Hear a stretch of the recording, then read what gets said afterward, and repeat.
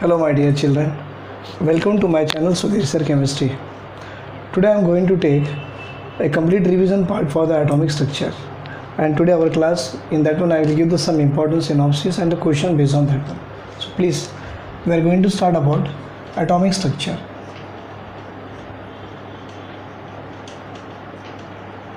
But in this particular topic of atomic structure, I am going to discuss a s- simple synopsis and a question based on that one what they can ask in our IIT means or in the NEET exam. So that part I am going to cover for you.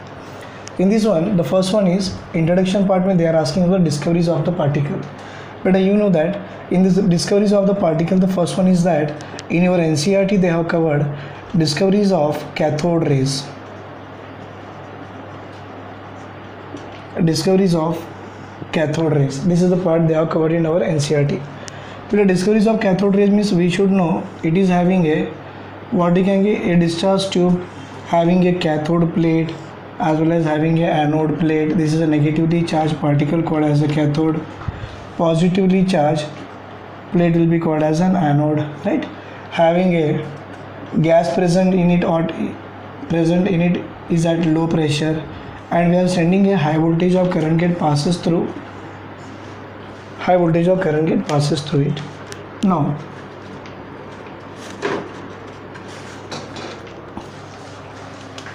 now here we are sending a bit of high voltage of current we are passing through it now the thing which one i am going to discuss with you about this one suppose i have taken the hydrogen gas so hydrogen gas means h bonded with h but the high voltage of current will come means it will break the bond and molecule will be converted into atom.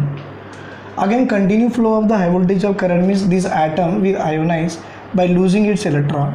By losing its electron it will carry the positive charge but electron will come out. This negatively charged electron came out.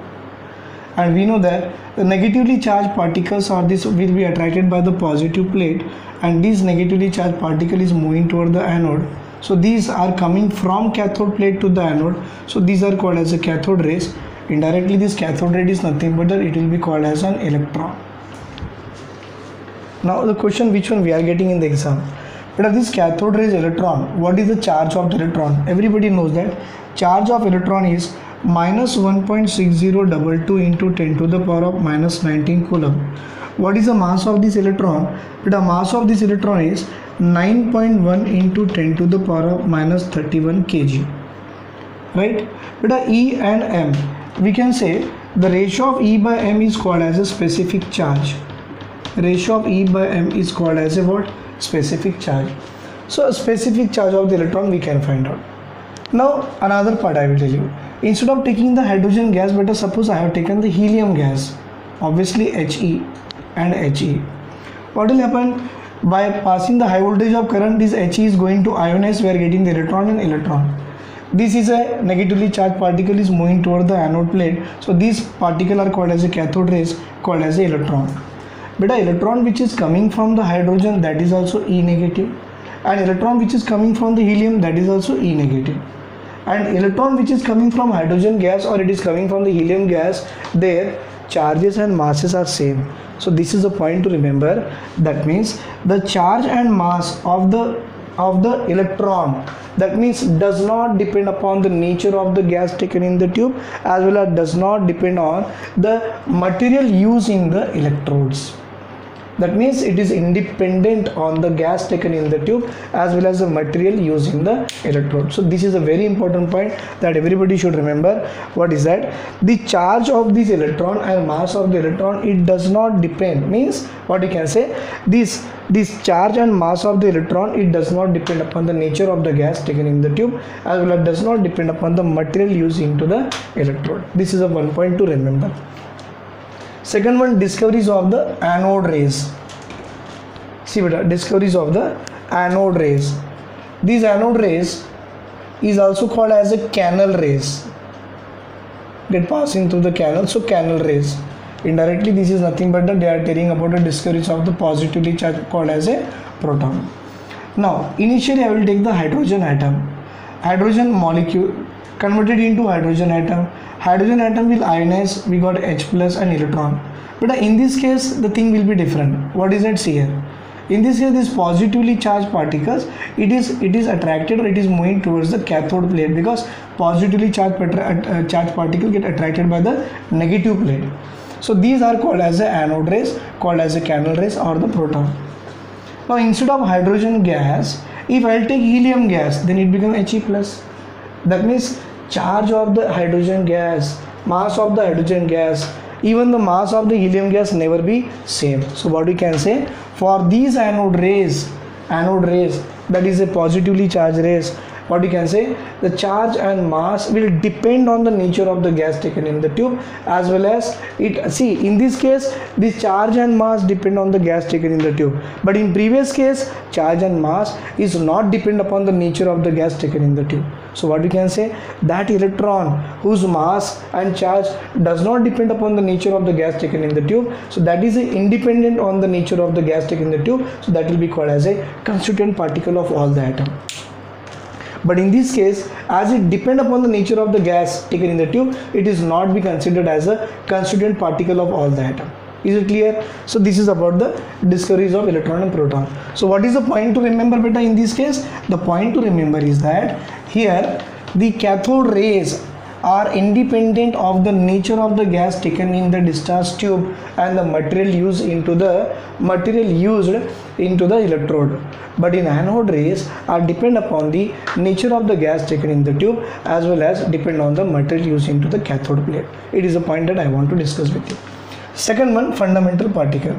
But a fundamental particle means electron then another one is a proton and then another one is a neutron beta electron it was discovered by we can say Thomson. Electron was discovered by Thomson. Proton was discovered by Goldstein. And these neutron was discovered by Chadwick. Chadwick. But the charge of this electron is minus 1.6022 into 10 to the power of minus 19 coulomb or into the 4.8 into 10 power of minus 10 ESC here charge of the proton is plus 1.6022 into 10 to the power of minus 19 coulomb. And neutron charge of the neutron we can say E beta it is called as a charge of the particle. And charge of this neutron that is a this that is a neutral does not bear any charge over it. Then mass. Beta mass of this electron is 9.1 into 10 to the power of minus 31 kg. It become 1.62 7 into 10 to the power of minus 27 kg. And it is a 1.675 into 10 to the power of minus 27 kg. Right? Question what kind of question we are getting in this topic? But a question we are getting in this way i will tell you. One second. Question which one we are getting? But we are having a neutron we are having a alpha particle we are having a proton and we are having a electron. This is called as neutron alpha particle proton and neutron they are asking to arrange these four particles in the increasing order of the e by m value see beta e by m value e by m value of alpha particle of neutron